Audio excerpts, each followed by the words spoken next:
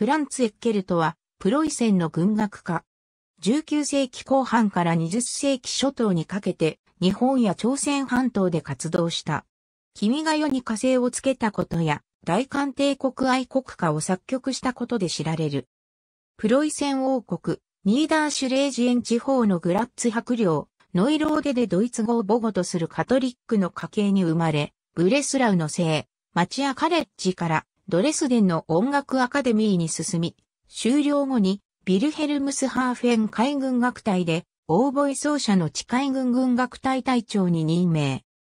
1879年、エッケルト27歳の時に日本で音楽教師として奉職することを任ぜられた。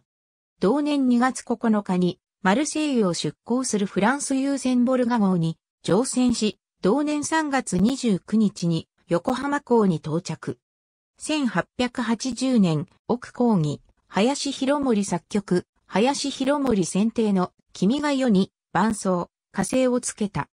以後、日本を離れるまで海軍省横須賀鎮守府所属軍楽隊、音楽、取調べ係、宮内省指揮部職、陸軍と山学校、この英軍学隊その他、洋楽教育機関のほとんどをすべてに関わった。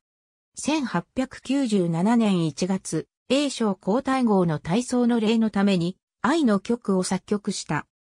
海軍は、明治初年の創設以来英国式の軍政を取ってきたが、音楽に関しては、当初のジョン・ウィリアム・フェントンによる英国軍楽隊方式から、エッケルトの着任以来、ドイツ式の理論や教育が浸透した。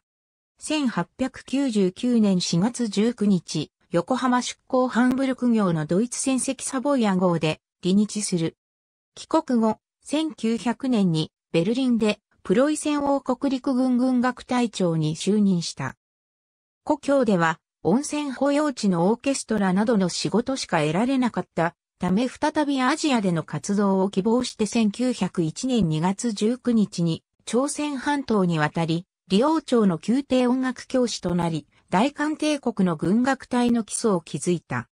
西洋音楽学習希望者を訓練して半年、あまりで楽隊を育て上げ、同年9月9日の大韓帝国皇帝、高僧の誕生日を祝う軍楽隊の初めての演奏会で2曲を演奏した。日韓併合後に軍楽隊は手のひらレイン音楽隊と解消され、予算を縮小されたが、1910年に韓国王室と追加契約を締結し、民間の援助を受けながら、楽隊の活動を続けた。1914年に始まった第一次世界大戦では、ドイツ人であったため適正外国人として活動を制限された。1916年初頭に健康上の理由で引退し、同年8月6日に形状会剣道の自宅で胃がんのために隠しした。墓所はソウル外国人墓地公園。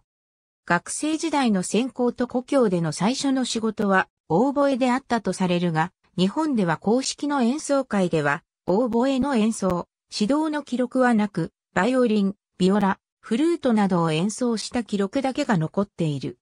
私的な場では2回ほどの記録がヘルマン・ゴチェフスキ等の研究で確認されているが、指導の面でもオーボエに関する目立った記録はない。君が代の譜面の表紙、来るとネットを咲く。ありがとうございます。